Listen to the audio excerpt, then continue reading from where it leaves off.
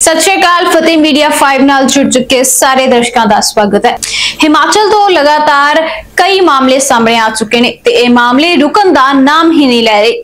ਹੁਣ ਤੱਕ ਕਈ ਅਜਿਹੇ ਮਾਮਲੇ ਸਾਹਮਣੇ ਆ ਚੁੱਕੇ ਨੇ, ਜਿਸ ਵਿੱਚ ਹਿਮਾਚਲ ਵਿੱਚ ਗਏ ਪੰਜਾਬੀ ਲੋਕਾਂ ਦੇ ਨਾਲ ਦੁਰਵਿਵਹਾਰ ਕੀਤਾ ਗਿਆ ਹੁਣ ਤੱਕ ਕਈ ਅਜਿਹੇ ਮਾਮਲੇ ਸਾਹਮਣੇ ਆ ਚੁੱਕੇ ਨੇ, ਜਿਸ ਵਿੱਚ ਪੰਜਾਬ ਤੋਂ ਹਿਮਾਚਲ ਗਏ ਲੋਕਾਂ ਦੇ ਨਾਲ ਦੁਰਵਿਵਹਾਰ ਕੀਤਾ ਗਿਆ ਜਿਸ ਤੋਂ ਬਾਅਦ ਕੀ ਲਗਾਤਾਰ ਹਿਮਾਚਲ ਸਰਕਾਰ ਦੇ ਵੱਲੋਂ ਅਤੇ ਪ੍ਰਸ਼ਾਸਨ ਦੇ ਕੋਲ ਇਸ ਦੇ ਲਈ ਇਨਸਾਫ ਦੀ ਮੰਗ ਕੀਤੀ ਜਾ ਰਹੀ ਹੈ।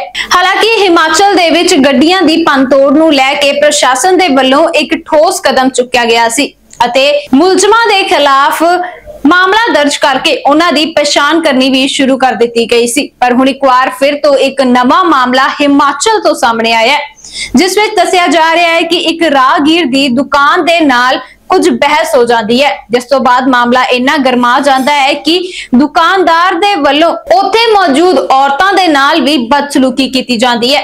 ਵੀਡੀਓ ਦੇ ਵਿੱਚ ਤੁਸੀਂ ਦੇਖ ਸਕਦੇ ਹੋ ਕਿ ਇੱਕ ਰਾਹਗੀਰ ਦੀ ਦੁਕਾਨਦਾਰ ਦੇ ਨਾਲ ਕੁਝ ਗੱਲੋਂ ਬਹਿਸ ਹੋ ਜਾਂਦੀ ਹੈ, ਜਿਸ ਤੋਂ ਬਾਅਦ ਲਗਾਤਾਰ ਉਹਨਾਂ ਦੇ ਜਿਸ ਦੇ ਵਿੱਚ ਕਿ ਪੰਜਾਬ ਤੋਂ ਗਿਆ ਪਰਿਵਾਰ ਉੱਥੇ ਦੁਕਾਨ ਤੇ ਕੁਝ ਸਮਾਨ ਲੈਣ ਦੇ ਲਈ ਰੁਕਦਾ ਹੈ, ਜਿਸ ਤੋਂ ਬਾਅਦ ਉਹਨਾਂ ਦੀ ਉਸ ਦੁਕਾਨ ਮਾਲਿਕ ਦੇ ਨਾਲ ਬਹਿਸ ਹੋ ਜਾਂਦੀ ਹੈ। ਵੀਡੀਓ ਦੇ ਵਿੱਚ ਤੁਸੀਂ ਦੇਖ ਸਕਦੇ ਹੋ ਕਿ ਦੁਕਾਨ ਮਾਲਿਕ ਦੇ ਵੱਲੋਂ ਇਹ ਵੀ ਨਹੀਂ ਦੇਖਿਆ ਜਾ ਰਿਹਾ ਕਿ ਉਹ ਕਿਸ ਦੇ ਨਾਲ ਬਹਿਸ ਕਰ ਰਿਹਾ ਤੇ ਕਿਸ ਨਾਲ ਦੁਰਵਿਵਹਾਰ ਕਰ ਰਿਹਾ ਬਜ਼ੁਰਗ ਔਰਤ ਦੇ ਨਾਲ ਵੀ ਅਜਿਹਾ ਇਸ ਸਮੇਂ ਦੇ ਵਿੱਚ ਬਜ਼ੁਰਗ ਔਰਤ ਦੇ ਨਾਲ ਵੀ ਅਜਿਹਾ ਸਲੂਕ ਕੀਤਾ ਜਾ ਰਿਹਾ ਜੋ ਉਸ ਦੁਕਾਨਦਾਰ ਨੂੰ ਨਹੀਂ ਸੀ ਕਰਨਾ ਚਾਹੀਦਾ।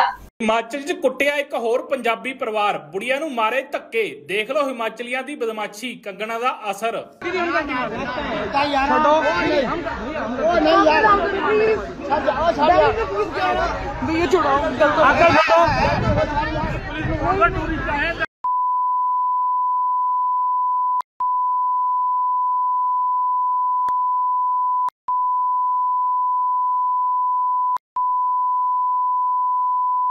तू चुंच का वर्णन करा था बलापुर के पास बंदा चाहिए, मैं बता दे रहा हूँ।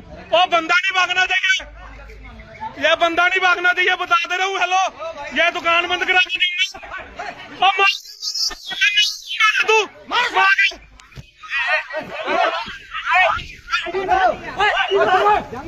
ले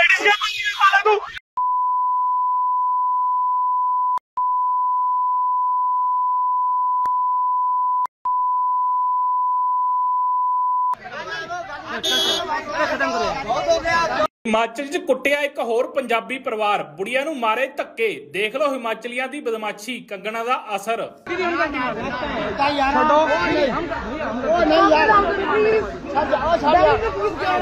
ये छुड़ाओ आकर छुड़ाओ बला पुलिस वाला बंदा नहीं भागना चाहिए मैं बता दे रहा हूँ ओ बंदा नहीं भागना